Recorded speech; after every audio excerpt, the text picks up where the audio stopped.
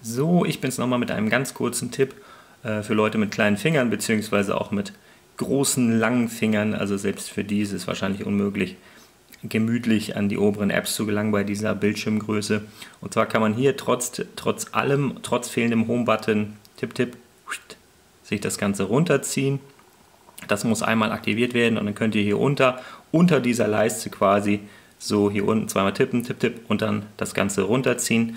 Und aktivieren könnt ihr das, indem ihr auf Einstellungen geht. Ihr braucht die neue Version, das ist 11.1. Dann geht ihr auf Allgemein, Bedienungshilfen und aktiviert dann hier diesen Einhandmodus. Das ist ganz wichtig. Und dann ähm, klappt das auch.